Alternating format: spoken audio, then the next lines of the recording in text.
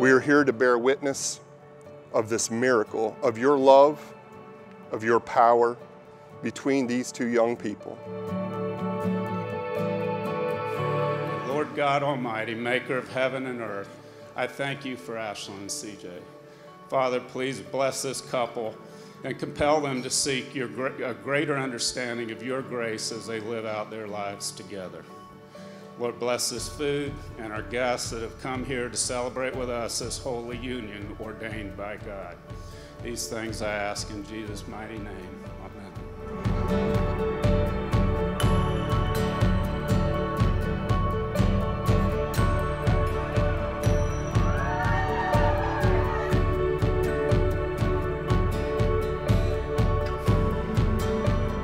Thank you for coming out today and being a part of this occasion.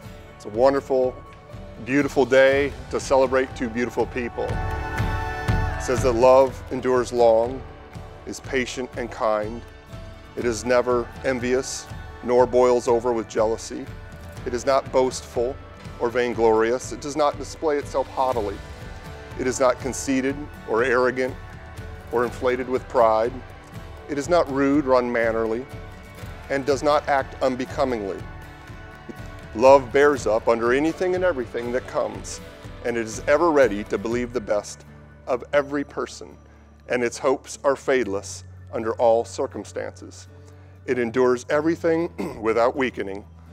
Love never fails. It never fades out or becomes obsolete or comes to an end. CJ, do you take Ashlyn as your wife, as your own flesh, to love her even as Christ loves the church, to protect her, and to care for her for the rest of your life? I do. Please repeat after me. I, CJ, I, CJ, according to the Word of God, according to the Word of God, join myself to you, join myself to you, to be a husband to you. to be a husband to you. From this moment forward, From this moment forward, we shall be one. we shall be one. Ashlyn, do you take CJ as your husband, submitting yourself to him as unto the Lord, showing reverence to him as head of this union for the rest of your lives? I do. Please repeat after me. I, Ashlyn, I, Ashlyn, according to the Word of God, according to the Word of God, submit myself to you, submit myself to you, to be a wife to you. to be a wife to you. From this moment, From this moment, we shall be one. crack. we shall be one.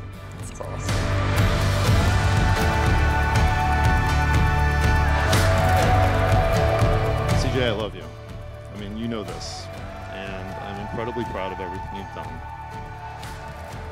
He has an incredibly big heart. He's truly a gentle giant.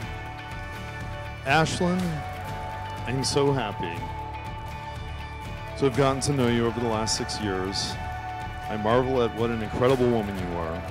Your grit and determination at doing whatever it took, whether it was on the volleyball court at University of Maryland, you no doubt learned the strength of character from your parents, Travis and Jill. And again, I thank them for being incredible parents and raising such an incredible woman. Now, as representative of Jesus Christ before Almighty God, in the name of the Father, and of the Son, and of the mighty Holy Spirit, I now pronounce you one together. You are now husband and wife. You may kiss your bride.